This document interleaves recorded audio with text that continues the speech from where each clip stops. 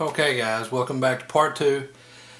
The first video we just finished was the 72 hour bag, be it a get home, a get out, a bug in, a bug out, whatever you want it to be. Okay, your emergency day kit, whatever. That's a bag that was pretty lightweight at 23 pounds in a 511 Rush 72 pack. Okay, and it had a lot of gear in it, but there is the capability of adding some firepower to your gear if you so choose. I don't have that stuff and this stuff in my bag because I've chosen to forego the weight for uh, for the, go with the weight savings versus the extra capabilities that it brings. But I do have an extended stay backpack or a, you know survival bag, one that you have to go out in the woods with, and it has this kind of stuff in it, along with a lot of the stuff that you already saw in. Uh, the 72 hour bag that we just finished and you all it also has a survival kit which you saw if you watched the uh, personal survival kit video, which came out a few days ago. So this stuff was just some extras that can extend your capabilities, but again, we'll add a little weight. Uh, weight is okay as long as there's a use for it, as long as you get something out of it. Okay. The first thing that I also have on my Rush 72 is this, okay, and this is their um, scabbard. Okay, you see the straps, it literally just clips on. It's already pre-configured on the side of my 511 pack. And it holds my rifle. Okay, and it holds any rifle. It can hold a bolt action, a lever action, or a semi-auto. Any type, any scope, size, what have you. The barrel goes down here, the muzzle goes down there. Rifle goes up here. If it's an AR, the handle actually sticks out, the grip, and then the stock stick out. But this is a good way to be able to carry my rifle. As you saw, I also had an optional 511 TacTec chest rig that I keep next to my bug out bag or stuffed in the front of my bug out bag so that if I needed to, I could go all out with an AR or hunting rifle, survival rifle, and a chest rig to support that system. If I don't need it, I don't take it. Okay, it can stay in the car if I'm putting on the bag and jetting, but it could go if it needs to. Okay, onto this gear here some of the other things you can do. And before, uh, let me mention this, man, and I'll have to annotate it in the first dang video. On the first one, I forgot to show you in another pocket. I noticed when I was packing everything back up, I forgot to show you bug spray, sunscreen, duct tape, and electrical tape. And I know everybody's going to freak out because bug spray, sunscreen, duct tape, electrical tape wasn't in there. It was in there. I just forgot to show you, and I'll put that on the uh, I'll put that on the first video. Hopefully, as some type of annotation, and. Uh, and get you got hope nobody throws a rod over that. Okay. We talked about some type of disaster or a wreck or a car repair after you change your tire. You may be dirty. Uh, a couple of things you might consider are towels right? This is an MSR it's literally super tiny. I think it weighs one ounce. And it pulls out okay from the pack. Very effective this is like a super duty cloth shop towel really but if you put on some hand sanitizer or use some of your water to wash off your hands after a repair, after an injury, what have you, uh, or someone else's injury, then you got a way to dry your hands off. Or if you just kind of got a wet head or whatever, you can dry it off. You want a big towel? Here it is. Something like you may be in a situation where you're jumping in a river or jumping in a lake or the pond or the creek to wash off after something bad or just because you're having to camp out for a few days or whatever. This is a super lightweight pack towel that I got from Campmor. And I think it was kind of high. It was about 20 bucks. Whereas that other little towel was like 11. But this is more like a chamois nearly. But it'll dry you off or the dew inside your tent if that's a problem. Moisture or dew or whatever condensation. If you uh, spill something in your tent, you're good to go with this uh, or whatever. It's just a towel, man. These are other options. Okay, Another thing that you might add on would be first aid, increased first aid. I had a trauma kit from with quick, quick clot and stuff. I had a tourniquet and all that stuff. And I had a baby first aid kit, which was the AMK Steelhead. This is the AMK Hunter, which isn't made anymore. This became the Hunter series now, okay, from AMK. They now, now have the Steelhead, which was in my 72 hour kit. They have the Bighorn, they have the Grizzly, which I have the Grizzly in my hiking backpack, my big backpack. Uh, so this is another kit that gives you a lot more capability. Okay, than the first stuff you saw, right? Tons more capability. Okay, trauma stuff, eye stuff, more medicines, some splints, a lot more wound care, little suture kit. I've got a, uh, added medicines to it. I added a snake bite kit up here in this little pocket, right there. There it is. So you might go with something like that, but then when you get to this, uh, kind of a level two, a stage two first aid kit, or a one and a half, you are up to two and a half pounds.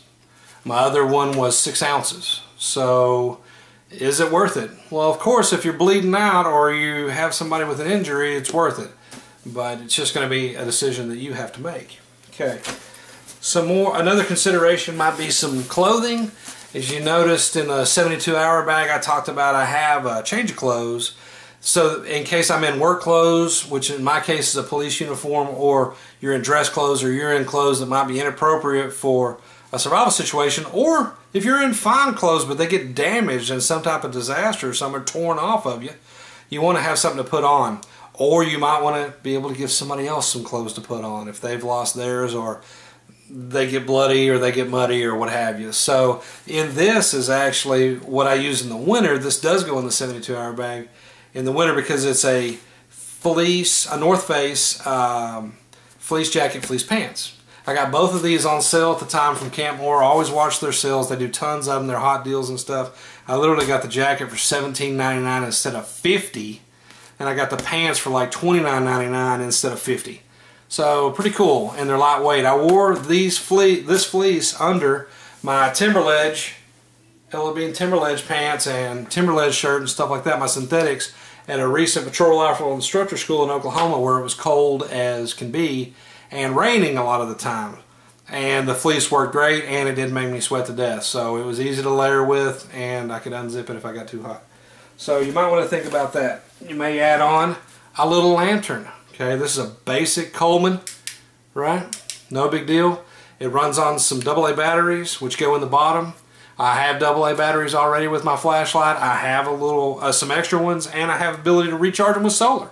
So you may think about a little lantern if you need to air your light. Of course, we already had the glow sticks um, in the uh, in the 72 hour bag, so you've got the you've got the glow sticks if you need those.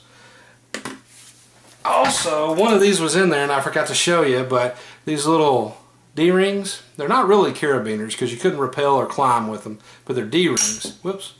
These are great to clip maybe that Nalgene canteen that I had onto the front of your bag once it's full so if it ruptures it doesn't get all your crap wet or strap anything on anything. This connects whatever to whatever and these are good. I got literally these are at Walmart but I've gotten some from REI and some from Campmor before but Literally, I think I got five for seven dollars or six dollars at Walmart with this package of different sizes and colors. Okay, an easy but $29, not super cheap deal, but it's a pack cover, okay? This could go in your pack because it is tiny. You see it in my hand. I uh, got this because it's a rain cover and I don't know if you're aware of this, but if you're going to put on your stuff and go outdoors, in my experience as a Boy Scout, as a kid and as a hunter, um, a lot of times it rains. At least it does in the south. So even if it's not long, it's enough to get your gear wet. And if your gear's wet, a lot of it's not usable or ruined. So it's good to keep your stuff dry. And a pack cover adds a few ounces of weight and a little bit of size in your pack, but it could be worth it for you. This one's blue. I was kind of disappointed in that. There's not a lot of pack covers out there anymore, but you could use the military, what they call the spare tire cover, which is in Woodland or Desert Digital, whatever. You could use that on your pack also. You can pick those up on Gunbroker and eBay pretty pretty cheap, uh, 20, 30 bucks. Okay, another thing you might add is dun, dun, dun, a cook system. I didn't have one in my 72 hour bag. Okay, the reason is I didn't want to be, I'm not planning on being out there so long that I'm having to make a lot of meals. I had snacks, stuff like that but that's about it. So what I have here is a fuel cartridge which adds weight. I think that's 8 ounces. I have to look on it. It adds weight. This is the bigger one, or this is the medium one. And then it's uh, you got to have a stove and something to cook in. But with that you can do warmth. If you can't build a fire, it's smokeless. It's super high powered so it'll beat whatever weather, what have you. Uh, so a cook system could be for you. I have one in my extended stuff. I don't carry one in my normal 72. In this bag, my cook stuff, I have a GSI thermal cup, right? Keeps your stuff warm or cold, which is handy. You can put soup in it too. Uh, and that wasn't too bad. I think I got the cup for $9.99. I have a kitchen sink from Sea to Summit. Hey, not a necessity by any means. I'm just showing you some possible luxury items that if you want to take them with you, you can. This is super small and only a few ounces. Okay? But this is a sink so you can do your dishes or transport water or what have you. Okay? And I have GSI Lexan cutlery.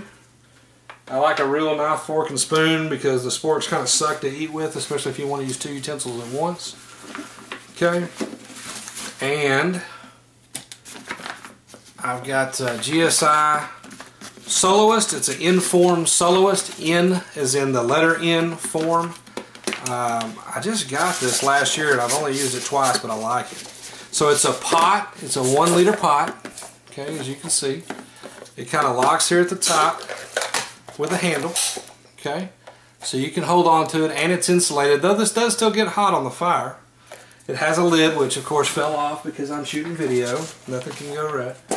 It's got its own stuff sack in here. I've still got it in there because I've never used it, but it's a little uh, little bag that it came with. It's got its own little spork, and then I put a bowl. It comes with this little bowl.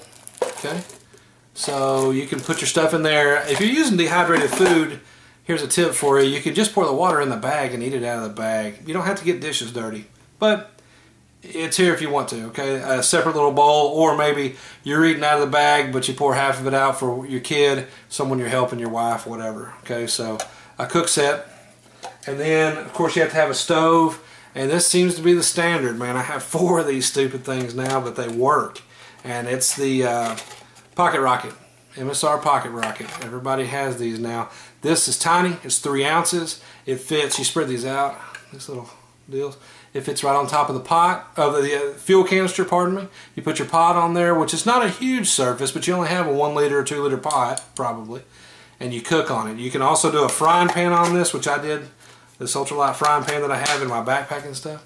It, it works. Okay, three ounces, and it's a stove, but you got to have a cook set probably even if you use that uh, 49 $59 titanium pot I just showed you the N-form soloist from GSI you got to have that and you got to have a fuel canister which weighs money. So it's not just a three ounce stove you got to have some supporting gear with that but it's handy to have. Okay I guess last but not least we talk about a sleep system and a shelter. You could have a tent okay?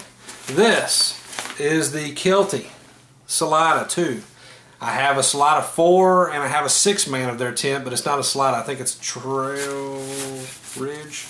I don't know. Their tents come and go so much, but hey, this whole tent, it's it's listed in the catalog as 3 pounds 12 ounces as the normal weight, but it is tiny, okay? I think it's 23 by 7, but it's actually four pounds six ounces on my scale. I don't know why that is. But still a four pound tent, just under four and a half pounds, not bad. It holds two people comfortably or if you had to, it holds one and your gear no problem. And it's tiny enough that it can go on my backpacking gear or my extended uh, survival bag. Okay, because my survival bag, like I said, is if I had to walk out in the woods and not come back for a while or make it 100 miles to the deer lease or something like that, to the cabin. So a tent might be it. It keeps the weather off of you, keeps the bugs off of you, which is a big deal and if you live in the south especially. And uh, and it might just be, it gives you a little bit of privacy, although you're not going to want people around you anyway. But there's a tent, okay? And this one at 150-ish, I actually picked this up 119 on eBay free shipping, but at 150 normal price, I think, an easy investment, right? Some of this other stuff's a lot more than that. The little pocket rocket was 40. it's just a stove. Down to the bottom is a sleep system. This is what I have left. Look how tiny it is.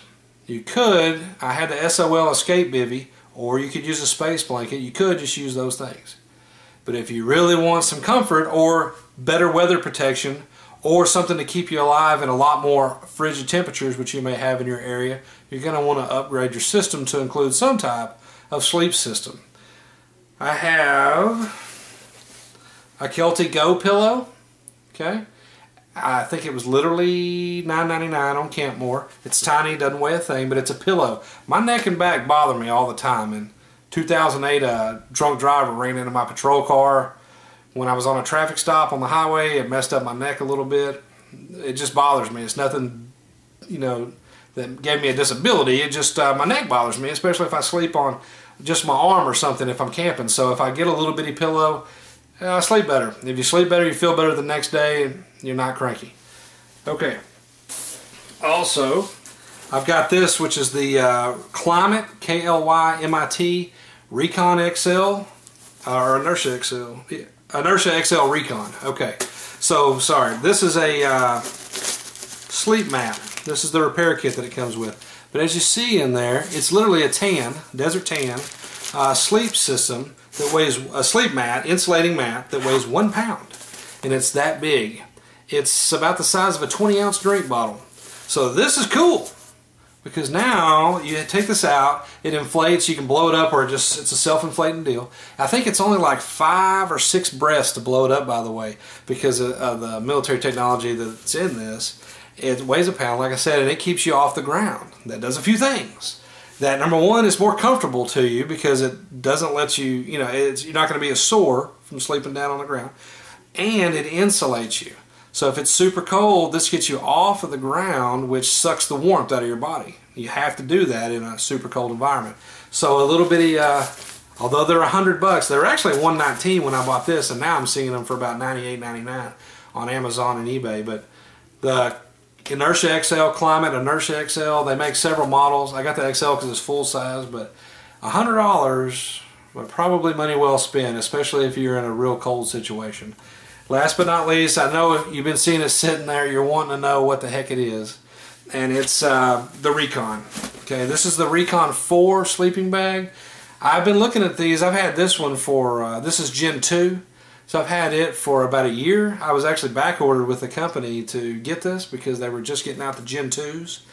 Um, you saw Nutnfancy do, uh, probably do a, uh, a quick uh, SHOT Show 2013 video with these guys. I had been seeing this for about a year before then because Outdoor Life magazine, which I love to read, did a bug out or survival uh, preparedness issue about a year, uh, two years ago, and this was a featured bag in there. So I had gotten turned on to this about two years ago. Finally got mine about a year ago. They do the two, three, four, and five, and the higher the number, the warmer it is, and the bigger it is. This is the four, which is next to the top, and it's a negative 10. Now notice that that's Celsius. So in the U.S., that's going to be 14 degrees. That's pretty cold, man. I'm in Texas, you know, and we get some nights in the teens some nights in the 20s, especially in February, January and February, but uh, not a lot of them. I think if I was going to go into some type of super winter situation, okay, maybe I put a negative something bag in there, but how are you going to do it for this size? I mean, are you putting this into perspective that how big this really is, you know? This thing is probably, it's 3.5 pounds, and it's that big, which is nothing. Um, to give you an idea, hmm, what could I use? Okay, to give you an idea, uh, here was that fuel canister, right? Which is probably not very big around, right? Probably three inches around. This thing is maybe nine inches. So, you know, eight or nine inches, it's tiny by even less. You know, it's probably like nine by five. And it's a sleeping bag. It's a real sleeping bag with real synthetic insulation material. It has its cool stuff sack that it comes with, which isn't waterproof by the way. But hey, what a bag. But not cheap. Man, I got this using a discount. Uh, they gave me a discount for being law enforcement at the time and because they were back ordered on the Gen 2s for about two and a half months. So they gave me 10% off. I picked this thing up for 150 and now I think they're 180 they're lesser bags than tropical, the three or less. I think they go 15 bucks less per per uh, model, and then the five is even higher. I think at 199 now or 219, and you know, geez, man, that's a lot of money. But again, you know, what are we talking about? A sleeping bag that may just save your life. I put it into perspective. I just want you to think through the situation, man. You're on some cold night, you got to spend the night in the car or in the woods or whatever it is. You fill in your blanks for where you live and what you might get into But what would you do if you didn't have a sleeping bag? On something that's an extreme weather situation. Now, if it's a summer in Texas, you'll be sweating to death. Low of 85, I think you'll be okay. But, you know, if it's not, what are you going to do? Would you survive the night? Would you have enough clothes to bundle up and just freaking shiver through it and work all night on something so that you stay moving and all that and then try and get some sleep during the day? I don't know even if you survive it, it doesn't mean you're going to like it, and it doesn't mean it's not a guarantee that you even survive it. But if you do, you know, uh, you want to. Would it have been a hundred fifty dollar investment to sleep through that night, or to let one of your kids sleep through that night, or whatever the situation is, your wife that's with you, your girlfriend, by you having one sleeping bag that you guys could share and put over you or whatever, or yourself. I don't know. Again, I appreciate you watching everything. The goal of this video was a part two to show possible extensions that you could get into. In the personal survival kit, if you haven't figured it out, it's all levels. That kit is about 6x6. It is 6x6. It weighs about a pound and a half, and it's designed to, if that was the only thing you could take with you, you could survive. Because it has enough stuff to make food, filter water, uh, fish, signal, things like that.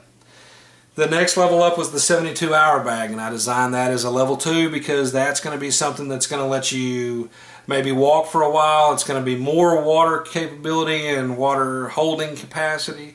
It's going to have better fire starting. It's going to have some clothes. It's going to have a tool bag. It's going to have a little bit of food with you and stuff like that.